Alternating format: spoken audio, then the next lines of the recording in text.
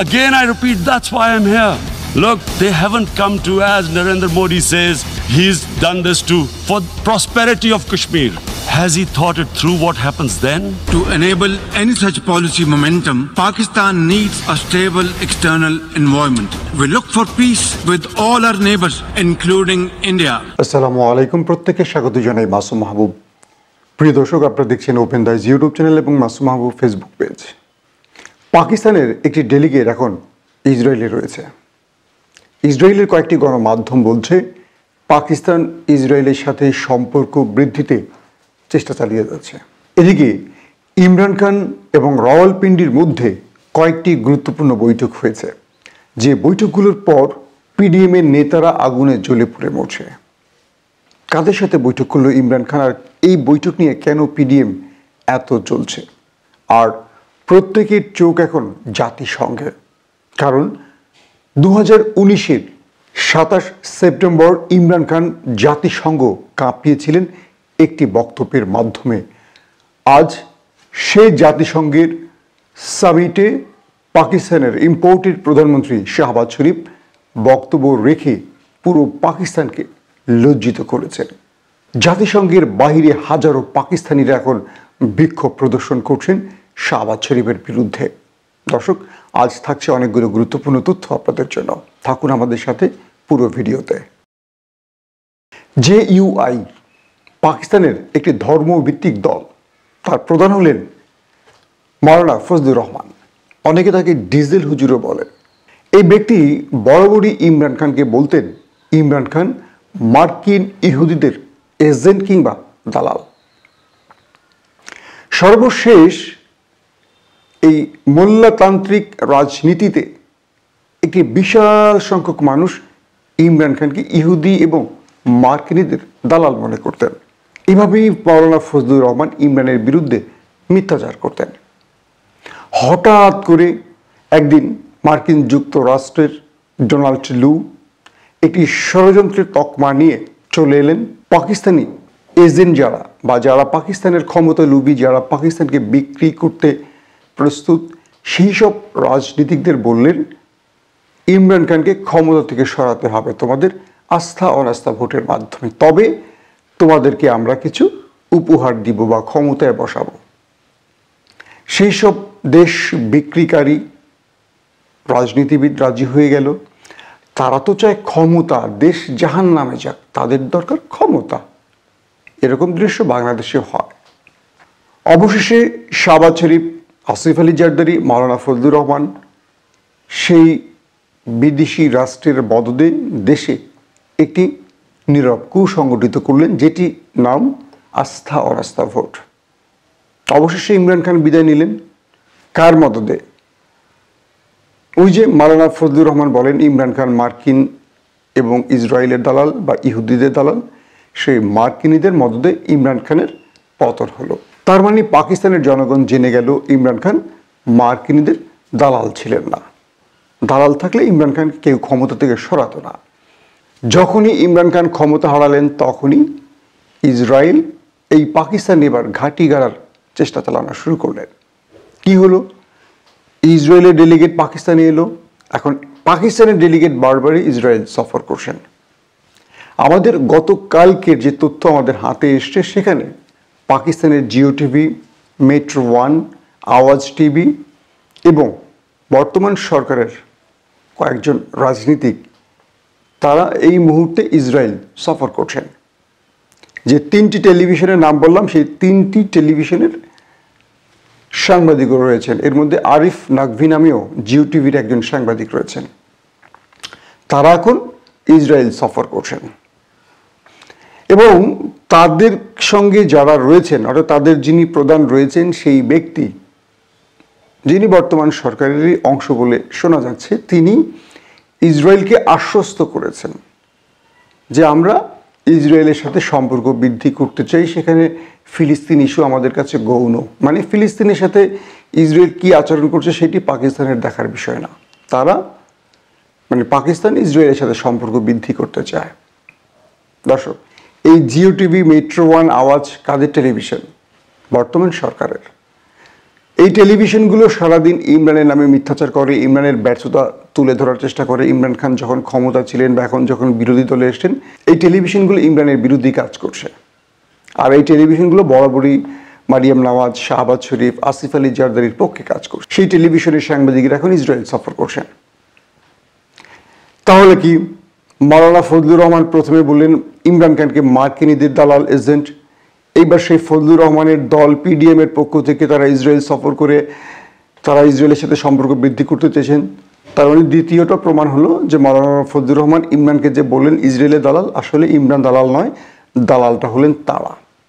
দর্শক, যারা আমার ভিডিও দেখছেন, যারা মাওলানা ফজলুর রহমানকে খুব শ্রদ্ধার সাথে দেখেন, তাদেরকে বলি, কোনো ব্যক্তিকে এতটুকু বিশ্বাস করা উচিত হবে না যতটুকু বিশ্বাস আল্লাহ করতে না বলেছেন। এই মাওলানা ফজলুর রহমান তিনি পাকিস্তানের সকল মাদ্রাসা নিয়ে রাজনীতি করেন এবং সেই জন্য পাকিস্তানে যারা মাদ্রাসা নির্ভর ব্যক্তি রয়েছেন, তারা সবাই তাকে পীরের মতো শ্রদ্ধা করেন। আর উনি করছেনটা কি এখন দেখেন। যিনি এতদিন ইমরান খানকে বললেন, ইহুদি ইসরায়েলের দালাল, আজকে দেখা গেল সে তার পিডিএমই এখন এই মার্কিন যুক্তরাষ্ট্র এবং ইসরায়েলের সাথে সম্পর্ক বৃদ্ধির জন্য চেষ্টা চালিয়ে যাচ্ছে। এরপরও তারা এভাবে মিথ্যাচার করে রাজনীতির মাঠে। এটা দুঃখজনক। দর্শক, এবার আসছি দ্বিতীয় প্রসঙ্গে। ইমরান খান সাতাশে সেপ্টেম্বর বক্তব্য রেখেছিলেন জাতিসংঘে।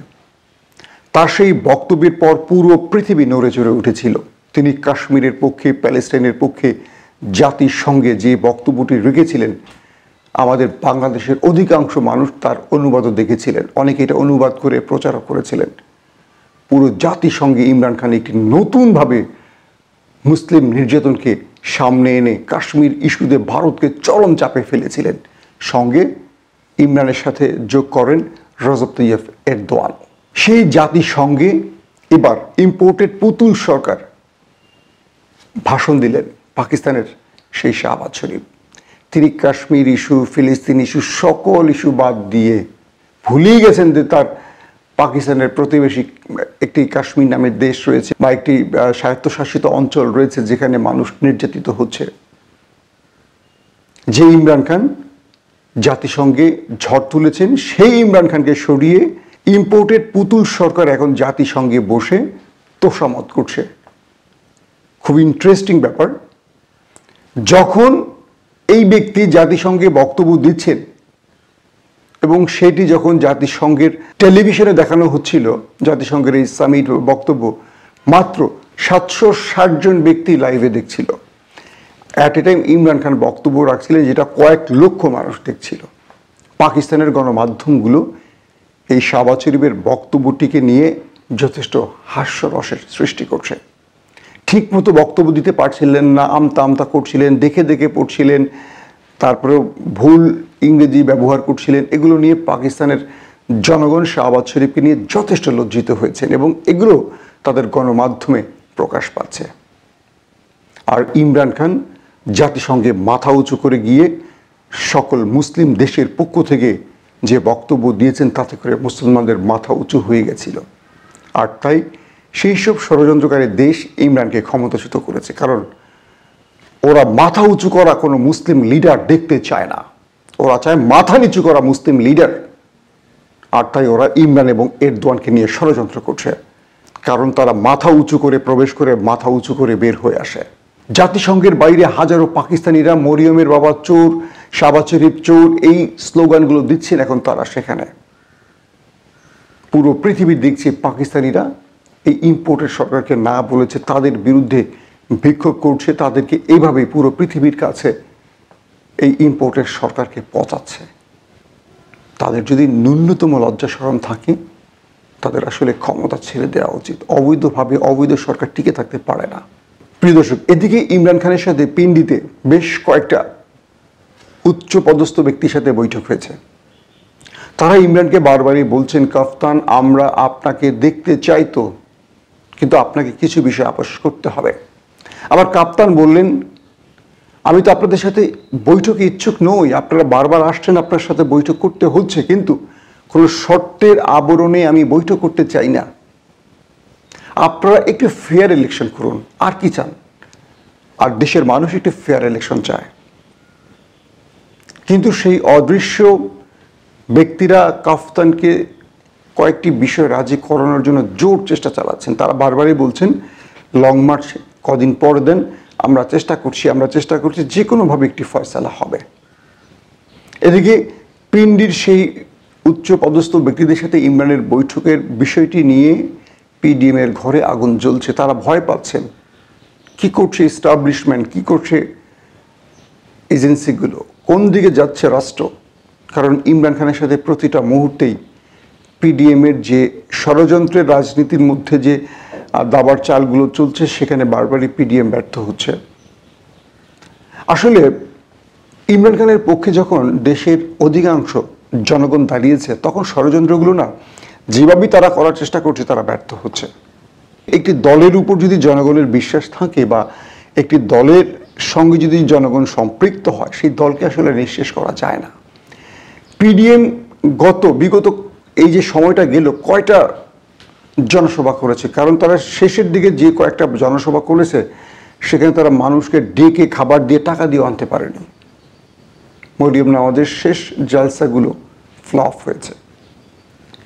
সব কিছু মিলিয়ে মরিয়ম নওয়াজ, শাহবাজ শরীফ, আসিফ আলী জারদারিরা বুঝে গেছেন, আগামী নির্বাচন হলে একেবারে স্পষ্ট পানির মতো পরিষ্কার ইমরান খান বিজয়ী হবেন। এখন তারা কি নির্বাচনে যাবেন?